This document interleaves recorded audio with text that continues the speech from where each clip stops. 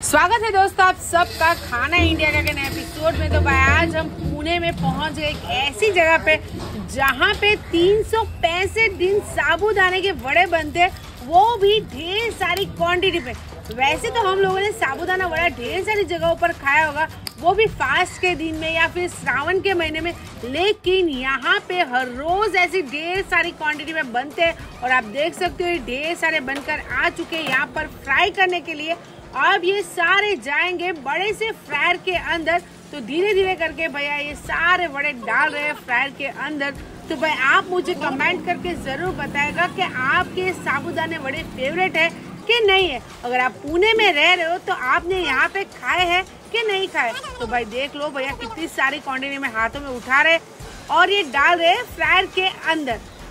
अब इसे हल्की हल्की आँच पर पकाया जाएगा।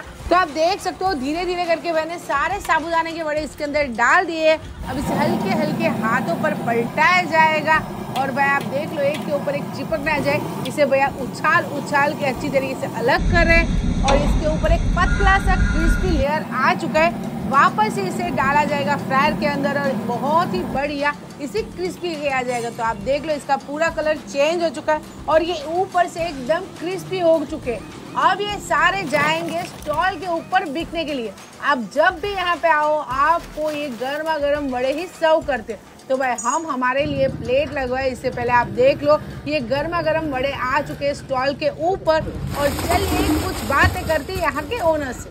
अगर आपका नाम बता दीजिए। मेरा नाम सुधीर सुधीर सेवा अच्छा और यहाँ का एग्जैक्ट लोकेशन हम बता दीजिए। यहाँ जेम रोड काउगल्टी जेम दिल्ली महाराज मंदिर। और क्या टाइमिंग रहता है यहाँ पर? अपना सुबह आठ से लेकर शाम को आठ बजे तक। ओके और यहाँ का जो यहाँ सिर्फ़ बड़ा ही मिलता है और कुछ भी मिलता हाँ? है सिर्फ़ बड़ा मिलता है। Sabudana vada specially for fast अच्छा और एक प्लेट का क्या प्राइस रहता है? एक प्लेट का साठ रुपये प्राइस है। थैंक यू कितने साल से भैया यहाँ पे आपका स्टॉल दो हज़ार ग्यारह में शुरू हुआ था अच्छा। और कहीं पे है पुणे में? नहीं अपना और तो कहीं नहीं है। हाँ?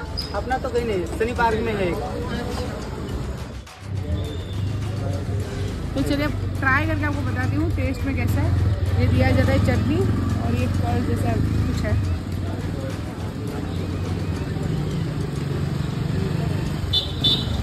बहुत ही बढ़िया एकदम क्रिस्पी सब ये बाहर से आ जाओ यहाँ पर।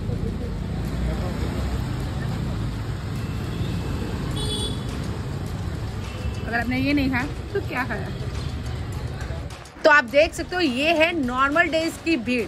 अगर आप उपवास के दिन यहाँ पे आ गए तो आपको ये डबल मिल जाएँगी। तो भाई, ऐसे ही खाने के वीडियो अगर आपको देखने हैं तो खाना इंडिया का पेज के साथ फटाफट से फेसबुक इंस्टाग्राम और यूट्यूब पर जुड़ जाइए। तो चलिए मिलते हो नेक्स्ट वीडियो में, तब तक के लिए बाय